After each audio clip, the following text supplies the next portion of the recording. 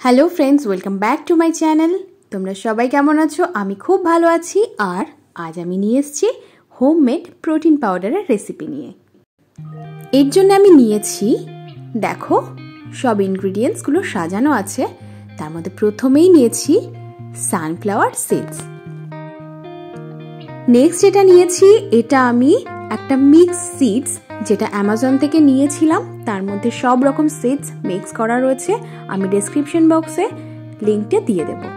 তারপর বাটিতে নিয়েছি এক বাটি কাজু বাদাম, এখানে অ্যালমন্ডস এখানে বাটিতে নিয়েছি এক বাটি ছাতু। যেমন প্যাকেট ছাতু পাওয়া যায়, সেই একই রকম এক বাটি ছাতু। এখানে বাটিতে নিয়েছি মিল্ক পাউডার বাটিতে এক বাটি নিয়েছি মিল্ক পাউডার আর এখানে চারটে পাঁচটা, গোটা এলাচ নিয়েছি।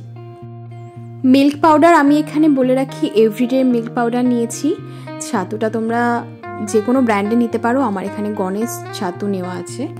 আমার ঘরে ছিল গণেশ ছাতু, আমি সেখান থেকেই নিয়েছি। এখানে নিয়েছি একটা বলে সেম একটা বোল ওটস এটা plain oats no masala oats আমি কিন্তু প্লেন ওটসটা সবসময় প্রেফার করি, তাই তোমাদেরকেও বলব প্লেন ওটসটা সবসময় তোমরা নেবে। এবার দেখা যাক ইনগ্রিডিয়েন্টসগুলো দিয়ে কি করা যায়। আমি এখানে একটা ননস্টিক ফ্রাইং প্যান নিয়েছি, যেখানে প্রথমেই এলাচগুলো দিয়ে দিয়েছি, তারপর সানফ্লাওয়ার সেজটাকে আমি প্রথমে দিয়েছি, দিয়ে হালকা হাতে সরি একটা খুন্তি দিয়ে আমি এটাকে নাড়াচাড়া করব। এরপর দিয়ে দিলাম অ্যালমন্ডসগুলোকে আবারও আমি এটাকে হালকা নাড়াচাড়া করে নেব। দিয়ে দিলাম আমার বলে রাখা কাজু বাদামগুলোকে। দেখো আমি পরপর পরপর সব ইনগ্রিডিয়েন্টসগুলোকে অ্যাড করছি। একসাথে সব ইনগ্রিডিয়েন্টসগুলোকে দিলাম না, কারণ সেটা পুড়ে যাওয়ার চান্স থাকে হয়তো। তো একটা একটা করে দিলে সেটা দেখতেও ভালো লাগে। আর রোস্টটা খুব ভালোভাবে হয়।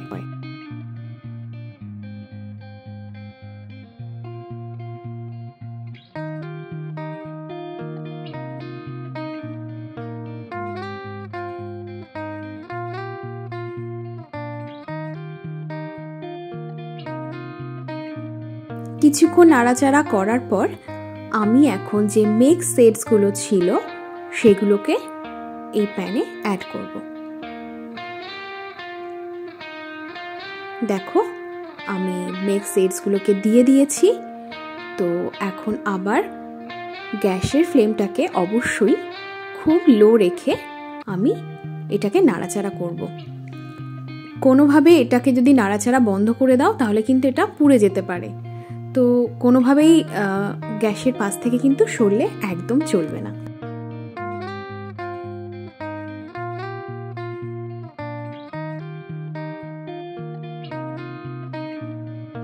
এই ইনগ্রিডিয়েন্টসগুলি আমার কিন্তু মোটামুটি রোস্ট হয়ে গেছে। এখন আমি অ্যাড করব আমার বলে রাখা ওটসটাকে ওটস যেহেতু পাতলা, তাই ওটাকে কিন্তু প্রথম অ্যাড করলে ওটা পুড়ে যাবে। তাই আমি ওটসটাকে শেষের দিকে মানে মিনিট দুয়েক আগে আমি ওটসটাকে অ্যাড করলাম।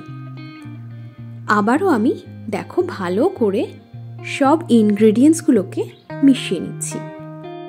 তোমরা এই প্রোটিন পাউডারটি বাড়িতে বানানোর সময় যদি ঘরে ওয়ালনাটস বা পিনাটস অথবা তোমাদের কাছে যদি পিস্তা কিছু থাকে, তোমরা কিন্তু সমস্ত ড্রাই ফ্রুটসগুলোকে এখানে অ্যাড করতে পারো। তাতে কিন্তু টেস্টটা ভালো হবে এবং প্রোটিন পাউডারটা আরও সুন্দর হবে।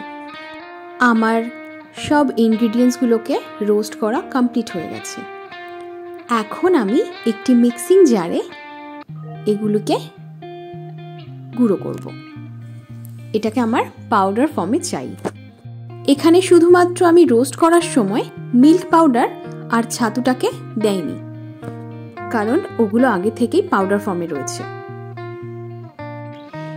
এই প্রোটিন পাউডারটি তোমরা কিন্তু যে কেউ খেতে পারো। বাড়িতে বাচ্চা, বয়স্ক মানুষ বা তোমরা যারা প্রাপ্তবয়স্ক, যারা ওয়ার্কআউট করো এক্সারসাইজ করো বা যে কেউ, তারা কিন্তু এই বাজার থেকে কিনে আনা বিভিন্ন ব্র্যান্ডের এই প্রোটিন পাউডারগুলো না খেয়ে একদম এই প্রোটিন পাউডারটি বানিয়ে খেতে পারো। আমি তোমাকে হান্ড্রেড পারসেন্ট বলব, তোমরা বেশি প্রোটিন পাবে।